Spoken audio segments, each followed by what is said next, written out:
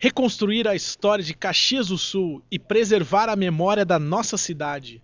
Este é o trabalho do Centro de Memória da Câmara de Vereadores. Desde 2008, o Legislativo Caxiense promove, com apoio do Arquivo Histórico Municipal, a digitalização, a difusão e o acesso aos documentos que registram a nossa história.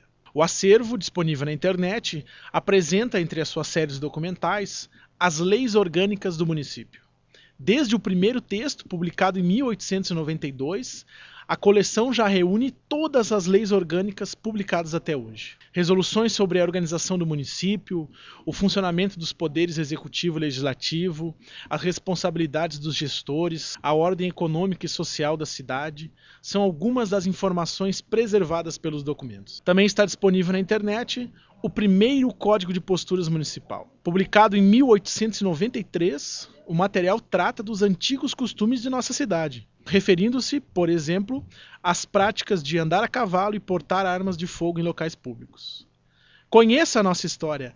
Acesse o site da Câmara de Vereadores.